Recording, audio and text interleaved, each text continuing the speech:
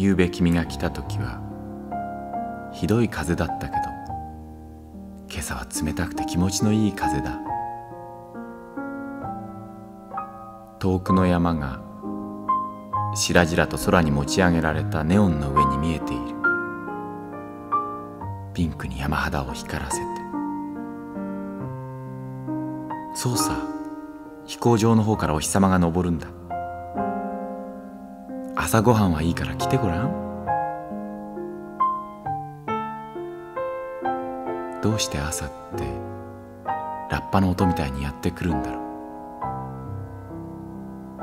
う。うんとっても気に入ってる。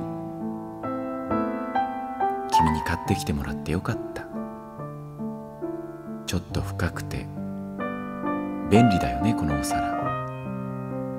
そこに古い水車小屋が書いてある。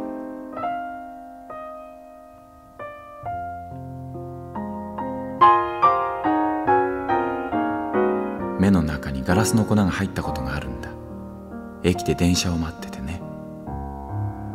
メスで少しずつ切って抜き取るんだ。痛くはなかったけど目を閉じるわけにいかないだろう。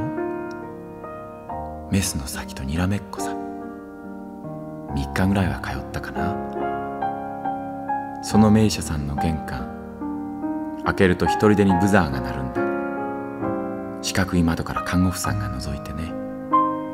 その名車さんの待合室に小さな絵がかかってた。